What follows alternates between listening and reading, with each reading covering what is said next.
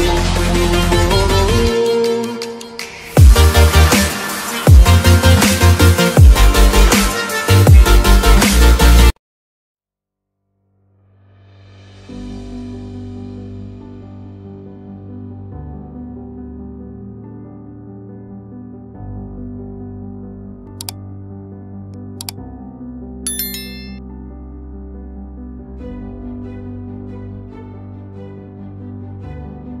Menginjak di usia 20 tahun pasti kamu sering sekali mengeluh. Kamu kaget dengan hal-hal baru yang kamu hadapi dan mengundang banyak tanda tanya mengenai persoalan hidup, tujuan hidup, jodoh, keuangan, dan ke manakah setelah ini kamu akan melangkah. Itu memang hal wajar. Kamu jangan terlalu bersusah hati. Perasaan yang kamu rasakan itu biasanya dinamai quarter life crisis Quarter life crisis adalah sebuah istilah untuk menggambarkan sebuah keadaan, fase kehidupan yang membuat kita sering dilanda keraguan dalam memutuskan suatu permasalahan, di mana persoalan tersebut akan memberikan dampak besar untuk hari-hari kita berikutnya. Seperti kerja di mana, berapa gajinya, apa pekerjaannya, cocok apa tidak kira-kira kamu dengan pekerjaan yang kamu pilih, dan sebagainya. Seringnya keadaan ini dihadapi oleh mereka yang menginjak usia 20 hingga 30 tahun. Ini merupakan kondisi yang wajar dan hampir semua orang mengalaminya.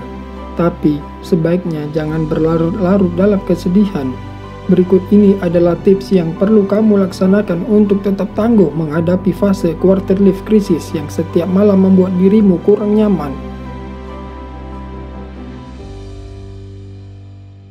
Nikmati prosesnya.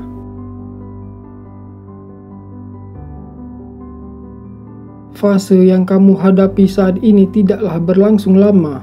Nikmati saja dengan caramu. Jangan dibikin sedih berkepanjangan jika ternyata di usia 20 tahun ke atas ini kamu berkali-kali menemui sebuah kegagalan, ya sudah terima saja. Dan besok berusaha lagi. Nikmati waktumu dengan orang-orang tersayang, karena mereka adalah sumber semangatmu. Jangan sedih berkepanjangan.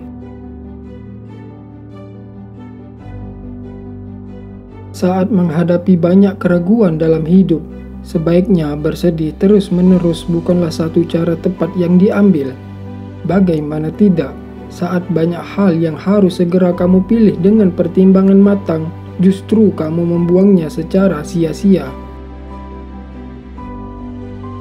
Waktu dan tenagamu terbuang sia-sia untuk bersusah hati dan menutup diri.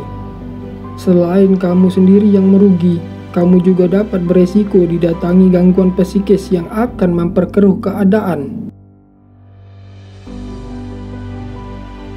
Isi harimu dengan banyak hal yang bermanfaat. Ketimbang membuang waktu untuk rebahan dan bersedih-sedih ria, lebih baik isi hari-harimu dengan hal-hal yang bermanfaat.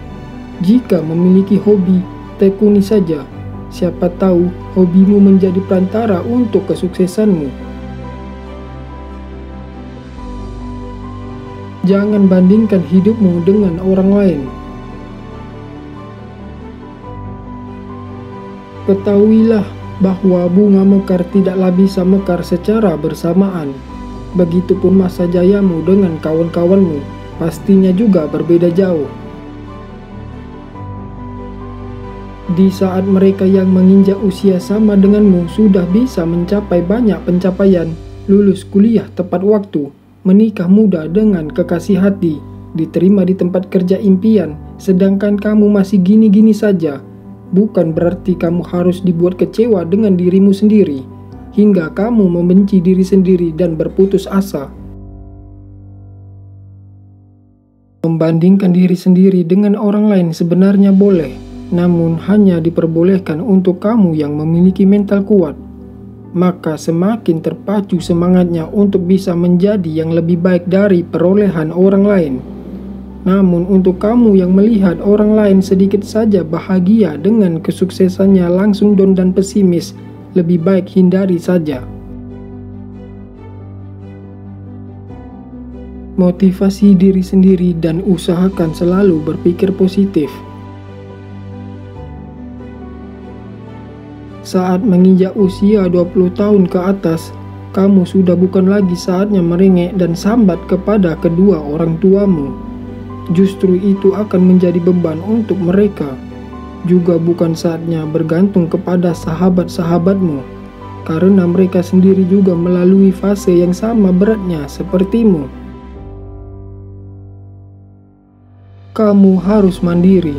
Satu-satunya yang bisa membangkitkan semangatmu, membuatmu sedikit tegar dan tidak rapuh adalah dirimu sendiri. Itu sebabnya sudah tidak ada saatnya membuang waktu membohongi diri sendiri. Dengarkan kata hatimu yang paling dalam.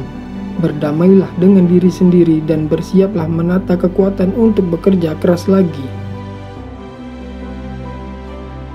Itulah beberapa cara bijak mengatasi fase quarter life crisis. Hidup ini terlalu sayang jika kamu habiskan dengan bersedih-sedih terus. Sudahi semua kesedihan dan keraguan kuatkan tekad, selamat menjemput kesuksesan.